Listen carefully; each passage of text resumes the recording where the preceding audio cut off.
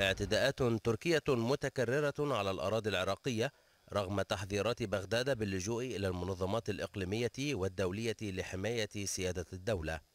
ومن ضمن هذه الاعتداءات كشفت مصادر عراقية عن مقتل مدني في غارة شنتها طائرات تركية هي الثالثة خلال أسبوع واحد في الشمال العراقي بدعوى مطاردة مقاتلي حزب العمال الكردستاني.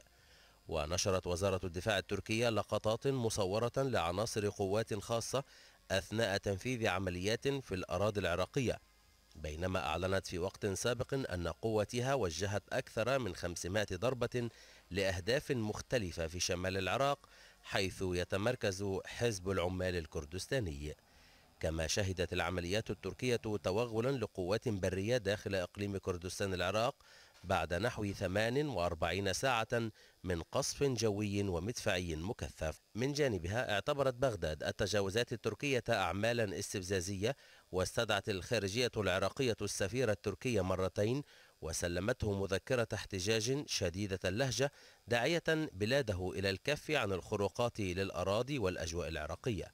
وقوبلت هذه الاعتداءات بتنديد عربي.